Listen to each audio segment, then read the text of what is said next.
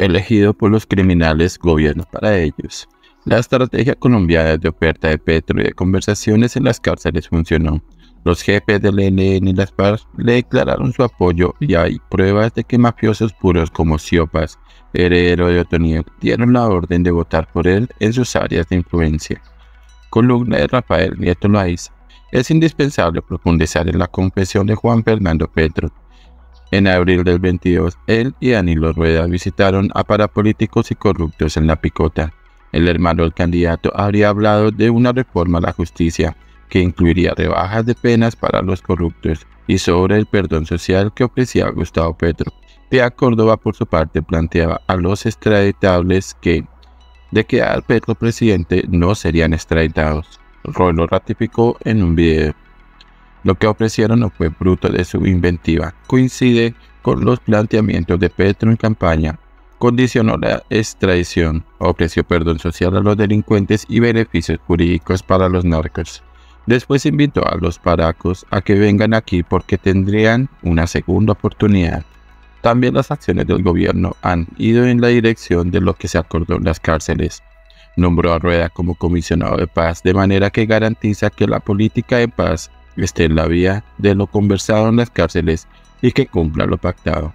Las decisiones y propuestas del gobierno han ido sin excepción en esa dirección abrió negociaciones con grupos mafiosos, solicitó la suspensión de órdenes de captura y la libertad de un par de decenas de narcos, incluso algunos extraditables, y les ha ofrecido que se queden con parte de sus fortunas. En enero de este año, la Fiscalía abrió noticia criminal de oficio contra Juan Fernando Petro por solicitar y recibir dinero de criminales a cambio de beneficios ofrecidos por el gobierno.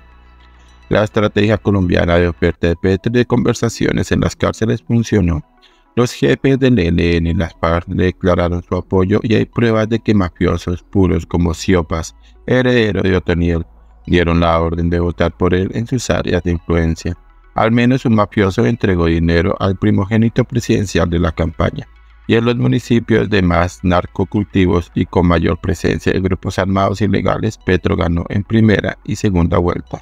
Ahora Juan Fernando Petro confiesa que el triunfo de su hermano se debió al apoyo recibido desde las cárceles a cambio de no extraditar a los bandidos, incluirlos entre los beneficiarios de los programas de paz del gobierno y permitirles quedarse con parte de la fortuna.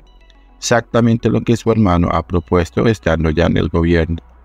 Aunque algunas iniciativas no hayan podido sacarlas adelante por oposición del fiscal y o porque el Congreso no las ha apoyado, Petro les ha cumplido. La discusión de cuántos votos aportaron desde las cárceles es anodina. Los hechos y la confesión muestran que el pacto fue una realidad, una elección ilegítima y un gobierno que favorece a los criminales que lo apoyaron para ser electo.